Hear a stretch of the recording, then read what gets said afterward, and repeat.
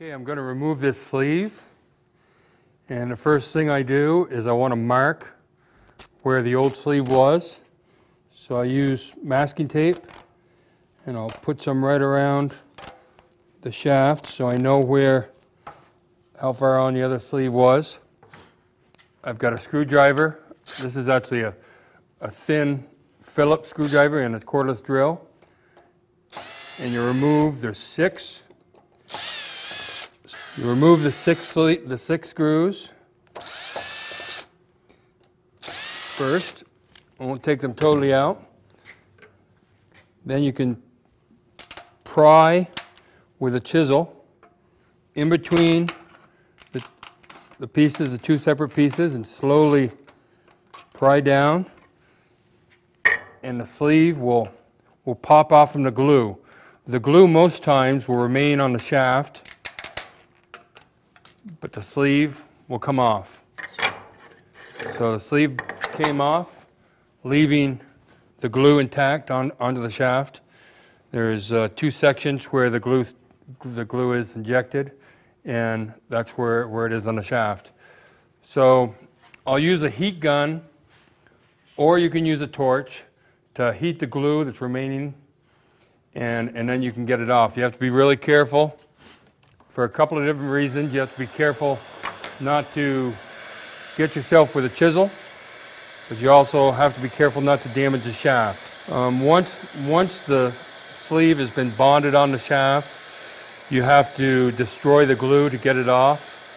So you can't really use the same glue. Uh, if, if you put another sleeve on this glue, most of the time the, the pitch won't be the same because each sleeve, when it's manufactured, it's milled individually. And you, you can try to put, put a sleeve back onto the same glue, but then you run the risk of having the pitch being way off, or perhaps the glue eventually becoming loose from the shaft. So the best option is to remove all the glue and install new glue with a new sleeve. I think that's about right right there. I think we'll, we'll give it a try. If it doesn't come off easily, you can heat it back up again. Yeah, this one's coming off pretty well. Again, you pry in between the shaft and the glue, and you can pop the glue off. If you're lucky, it'll come off in pretty much one section. You pry away. The other thing is you get the right temperature, and it'll pop right off. The glue does quickly deteriorate with the heat, so it makes it pretty easily. You want to make sure you're not you don't damage the shaft when you're using a chisel to remove any excess glue because you can, you can um, easily gouge the shaft or pull up a, some carbon fiber material if you're not careful. So you don't want to bear down too hard when you do it. All right, the sleeve I just removed was a black sleeve. Um, depending on the vintage of your oars, you may have a white sleeve, a black sleeve, or a green sleeve. Um, we recommend that you replace any of those sleeves with our new green sleeve. It's made out of a much more durable material and it should last a really long time.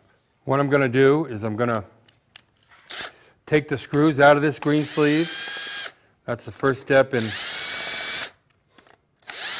putting a new sleeve on. You can, you can loosen them up without having them come out totally. That works pretty well. They'll sort of stay in there. I've got one that came out, but I can put that back in. If you loosen them up, you can pull the two halves of the sleeve apart. Put the new sleeve over the shaft, and it sort of fits down into the, the grooves, fits together nicely. Then I like to put the sleeve on a little bit outboard of where it goes because it's easier to hold on to and screw together. Then once you've got the six screws in, you can slide the sleeve up to where it's supposed to, supposed to go using the tape mark as a reference to where, where it's supposed to go to. So once you get all the screws on, the other, the other point is each of our sleeves has um, two markings on it. It has a P and an S. P for port and S for starboard. So when you're pitching a, a new sleeve, you want to make sure if you've got a port side blade, then you've got the P up. That's what you're, you're pitching it on the port side. So right now I've got, I've got the P that's showing here where the level's going to go, and that's aligned with the blade face down. So what I do is I'll put this on the pitch fixture. I've got this set up oriented as a port with a P. That's a port blade. And then I'm ready to, to inject some glue into the sleeve and then, and then pitch it. Okay, I'm ready to inject the glue into the sleeve. I've got it set. I've got it roughly pitched correctly, oriented with the, the right letter, the port with the port side blade. And I've got this 400 milliliter two-part urethane that we use. Um, this, this type of gun is very helpful if you're doing um, a set of oars or multiple sets. You can also use our 50 milliliter smaller cartridge, two-part urethane. That works good as well. Um, it takes a little more glue. Um, the 50 milliliter cartridge doesn't hold quite as much glue, and it takes a little more to fill it. Um, if you're doing a set or a few sets, it's pretty helpful to use the bigger, the bigger one because you can get a lot more done with it. what I'm doing right now is I'm running some of this, the first shot of this glue coming out of the tip, I'm actually putting onto the paper towel because it may not be mixed quite right. Okay, I'm ready to glue it. you inject it in the center hole of the sleeve and you watch until it starts to come out the two bleed holes on the same side. As soon as it comes out the bleed holes, then you know it's full. yep, it's there. You turn it over and fill up the other side the same way. Goes in the center hole. Takes a few pumps and it'll come out the bleed holes. there it goes. Once it's full, then you turn the blade so it's resting on the jig.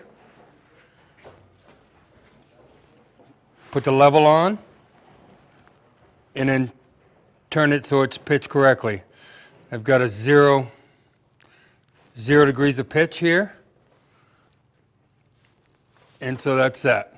Now I'll let it set for a while until it, um, it hardens, and then we can work on something else. Okay, After installing um, the new sleeves onto the shaft and picking the, the excess glue from the bleed holes and the injection holes, you need to install a set screw into the shaft.